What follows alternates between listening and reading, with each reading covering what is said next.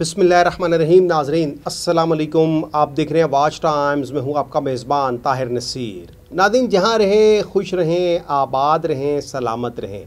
हमारी दुआ है कि आप नसरबाज़ों, ठगबाज़ों, बहरूपियों, लुटेरों और फ्राडियों से भी बच के रहें। नादिन पहुँची वहीं पर ख़ाक, जहाँ का खमीर था।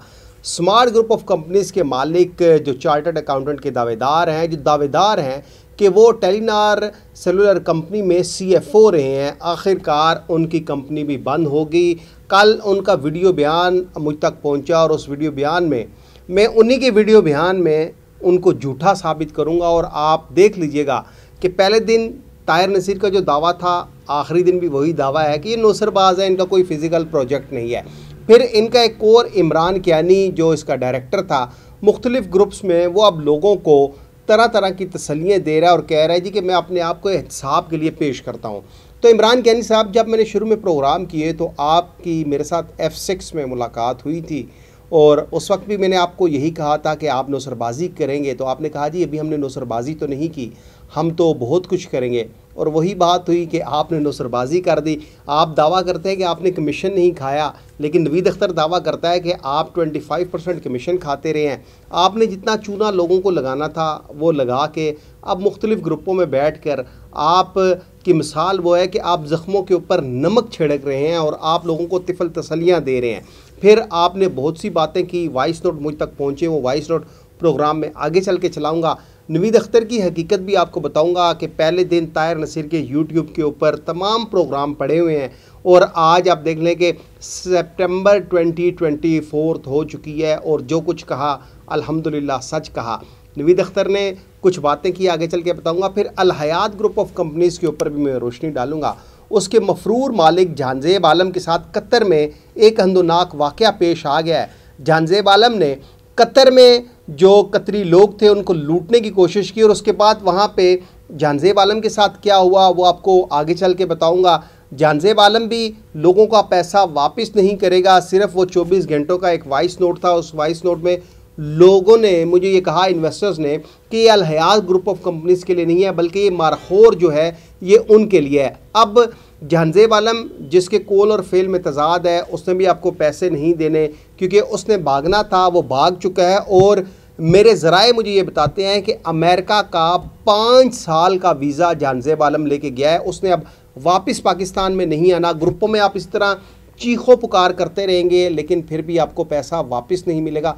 पैसा उसी सूरत वापस मिलेगा जब आप जानजेब आलम, समीर खान जदून, जायद अली राना वकास और दीगर जो इनके इन्वेस्टर्स नेटवर्कर थे कमीशन एजेंट थे उनके ख़िलाफ़ दरख्वास्तें नहीं देंगे उनके ख़िलाफ़ आप मुकदमात का इंदराज नहीं करवाएँगे, उस वक्त तक आपको पैसा मिलना नामुमकिन है, बहुत मुश्किल है। आपको सिर्फ़ तिफल तसलियाँ दी जाएँगी, दफ्तर बन गया है, दफ्तर रेनोवेट हो रहा है, दफ्तर में आपको चेक मिलेंगे।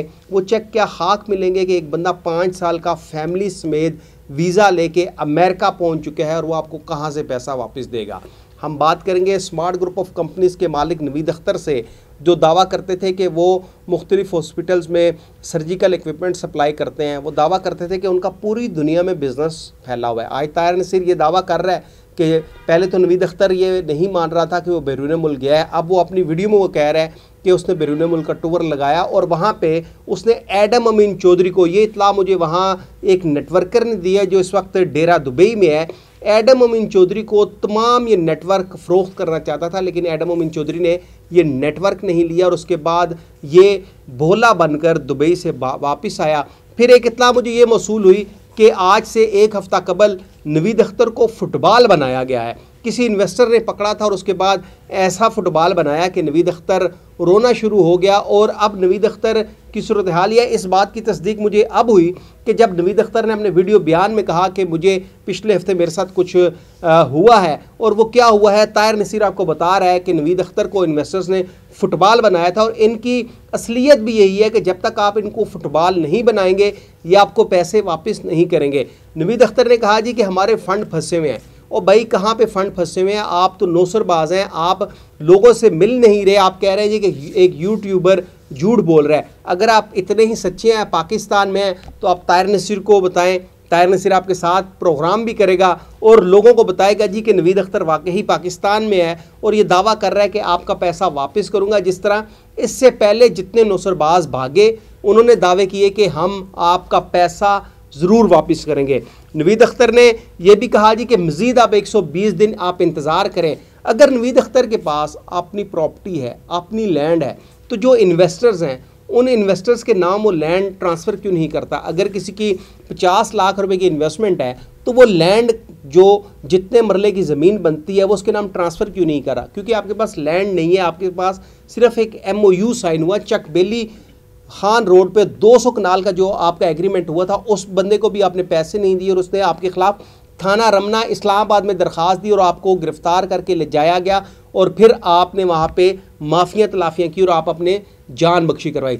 जिन लोगों ने आपको फुटबॉल बनाया था, उन लोगों का ये कहना है कि नवीद अख्तर ने हमारे से पंद्रह दिन का टाइम लिया है कि पंद्रह दिन में पैसे देगा, लेकिन इतला ये मसूल हो रही है कि नवीद अख्तर फैमिली के हमरा बैरून मुल्क जा चुका है। अब वो वीडियो बना रहा है वीडियो कहाँ से बना रहा है, किसी को नहीं पता। मुख्तलिफ़ ग्रुप्स में जो तस्वीरें वायरल करवाई जाती हैं, वो तस्वीरें अभी की नहीं हैं, वो तस्वीरें इससे पहले की हैं। इसका एक और जो कमीशन एजेंट था, मलिक नवीद, जिसके मतलब मैंने कई प्रोग्राम किए। नवीद अख्तर ने अब अपनी कंपनी बना ली है, उसने भी साइड मार लिया। अब जो नवीद अख्तर है, मलिक नवीद ने कंपनी बनाई है, जो नवीद अख्तर है, अब वो कह रहा है जी कि हम एक ऐसा मैकनिज़म लेके आ रहे हैं, स्मार्ट आईलैंड हाउसिंग सोसाइटी हम बना रहे हैं, ओ भाई कहाँ पे बना रहे हो? ना आपके पास एन ना आपके पास लैंड लोगों को क्यों ट्रक की बत्ती के पीछे लगाया फिर आपने कहा जी स्मार्ट ड्राइव के नाम से एक ऐप लॉन्च कर रहे हैं। और नवीद अख्तर साहब, नौसरबाजी छोड़ें। जिन लोगों से आपने पैसे लिए हैं तो खुदा रहा उनके पैसे आप वापस करें। आपने अपनी वीडियो में इतना झूठ बोला कि बंदा वो लपेट भी नहीं सकता। आपने तरह तरह की बातें की, लेकिन कोई एक बात, आपका वज़ू एक जगह पे खड़ा नहीं हुआ। अगर आप सच्चे बंदे हैं तो आप जो इन्वेस्टर्स हैं, उनसे मुलाकातें क्यों नहीं करते? फिर आपका एक और डायरेक्टर था इमरान कैनी इमरान कैनी अब लोगों को ये वॉइस नोट कर रहा है कि भाई मैं अपने आप को इंसाफ के लिए पेश करता हूँ। तो इमरान कैनी साहब, आपने कहा जी कि जो मुझे बताया गया, मैं वही रिप्रेजेंट करता रहा, वही प्रेजेंट भी किया और वही मैंने लोगों को बताया। तो जब मेरी पहली मुलाकात आपके साथ हुई थी और आप एफ़ सिक्स इस्लामाबाद में मेरे पास आए थे, रात साढ़े दस का टाइम था या साढ़े नौ का टाइम था और वहाँ पे जब मैंने आपको कहा जी कंपनीज़ एक्ट ये कहता है तो आपने कहा जी, वो हम सोच रहे हैं। आपके साथ एक अब्दुल वहाब नामी बंदा भी था। उसके साथ भी बाद में सुनना है कि कोई पैसों के ऊपर क्लैश आपका पड़ा है। लेकिन आपने उस वक्त हमें कहा था जी, हम मुजारबा का लाइसेंस ले रहे हैं। तो आपने मेरे साथ झूठ बोला तो इसी तरह आपने अपनी कमीशन की खातिर गरीब लोगों के साथ झूठ बोलते रहे और उनको लूटते रहे। अलहयात ग्रुप ऑफ़ कंपनीज़ के ऊपर हम बात करते हैं। जानजेब आलम के साथ कतर में उसके ऊपर बैन लग गया है, क्योंकि वहाँ पे उसने फ्रॉड करने की कोशिश की है।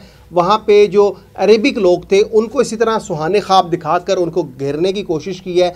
जानजेब आलम ने, और जानजेब आलम को वहाँ से मुल्क बदर कर दिया गया, क्योंकि इसके पास यूएसए का पाँच साल का वीज़ा है तो ये वापस यूएसए जा चुका है, और अब इसने भी आप लोगों को पैसे वापस नहीं देने।